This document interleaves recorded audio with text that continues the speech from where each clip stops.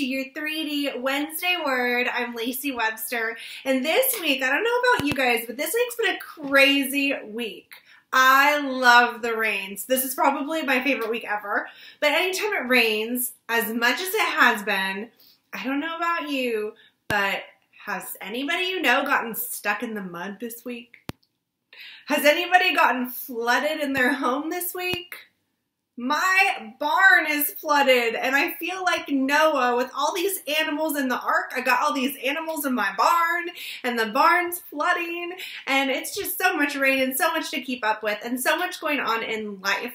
And sometimes we can feel like this bowl of water here. We can feel like we're drowning. Like there's so many things going on in the world that just are heavy and are intense, like a flood, like rain. And I'm going to show you an object lesson to remind us what God's Word tells us. And anytime it rains and floods, I don't know about you, but it reminds me of a story in the Bible. Do you guys know which one I'm talking about?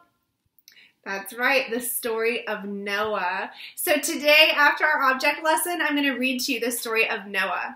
So, just like I was talking about, the flood, the rain, the water, the storm, maybe the difficult season that we're in right now, having to be home with this virus going around, we can feel like we're kind of stuck, like water in this bowl. But as Christians, as children of God, we know that God is protecting us. He's like a glass. He can protect us. He can keep us safe inside from all the storms that this world will face and that we will face. So, this glass is going to resemble the Holy Spirit and God, and this bowl is going to represent sin and the world, and the world has troubles and trials and tough times that we as Christians are promised to face. Just like Noah faced a huge flood, we are facing the coronavirus right now. We're facing a week of rain, and we don't even know what this week of rain is going to bring. But we know that as children of God, I am a child of God, we are placed with faith, with trust, with hope in Jesus.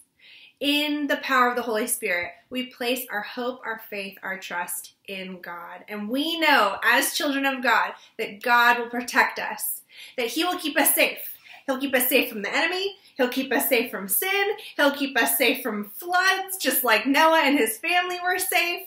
And he'll keep us safe from the coronavirus. He'll keep us safe from the rains this week. Anything that's going on in your life, nothing is too big for God to handle. You can come out just like us as children of God in a trial, in a storm, underwater, feeling like we're drowning, feeling like this season is lasting so, so long, we can come out with confidence, knowing that with God, the world cannot touch us. Sin cannot harm us. The floods will not have us go under because we are children of God. And we are equipped with God's Word. I wrote our scripture on the back because as children of God, we need to have God's Word coming out of our mouths, in our minds, in our hearts, and we have to read the Bible in order to equip us to be a child of God, to be surrounded by the protection of the Holy Spirit, surrounded by God's love, to protect us against all attacks of the enemy, anything that can come our way. So our Bible verse is found in 1 Peter.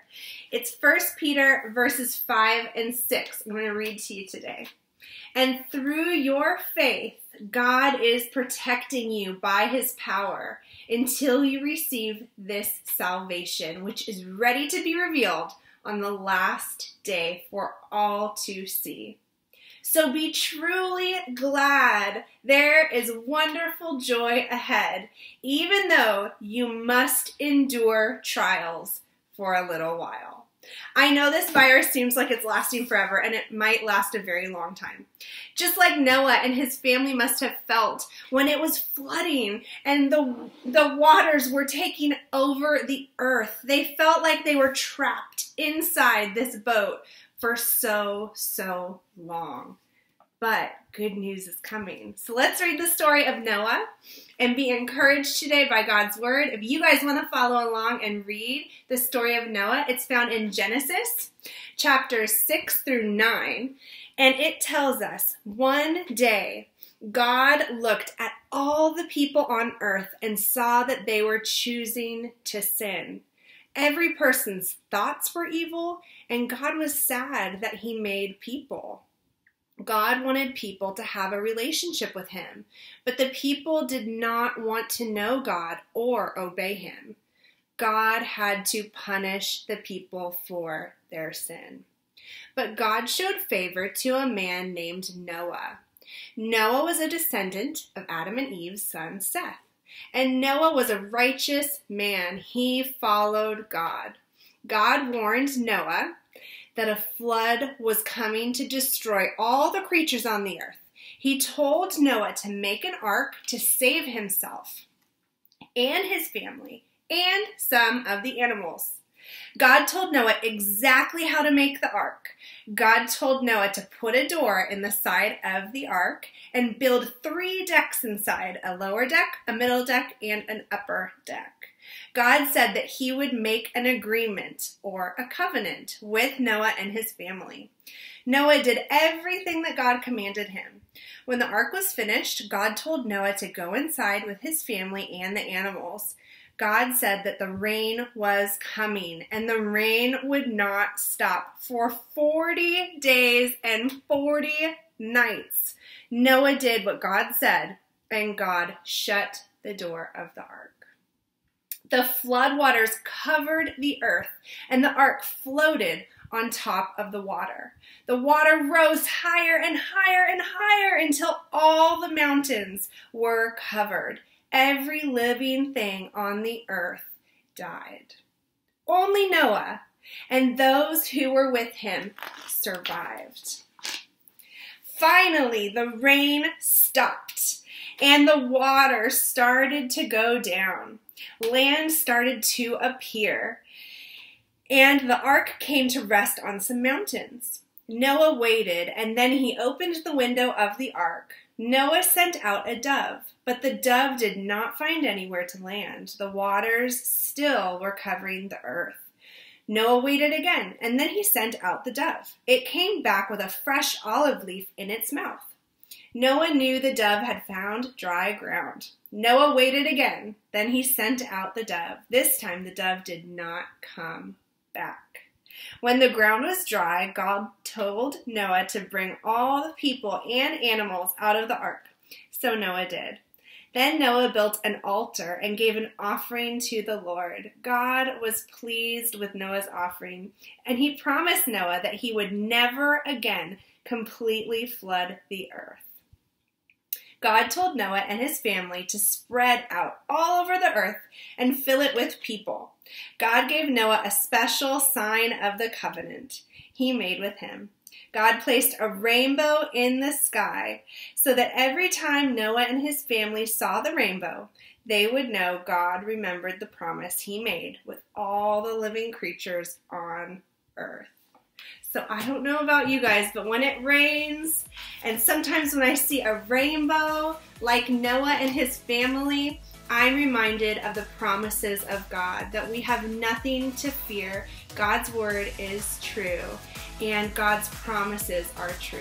Just like he promised Noah and his family that he would never again flood the earth, we know that we can survive any flood, any trial that is placed before us because we are loved and protected by God. And we know that the best is yet to come.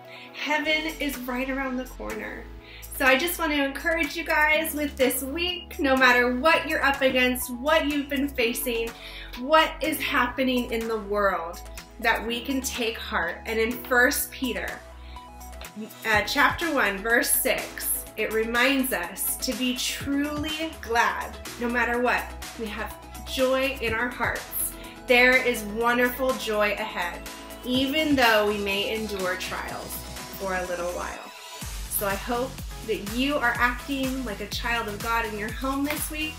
You are loving others, helping others, being obedient to God's word, obeying your parents, and having an awesome week. I love you guys, and I pray that you are blessed this week. And I cannot wait to see you this Sunday for another online church service. I love you guys. I'll see you soon.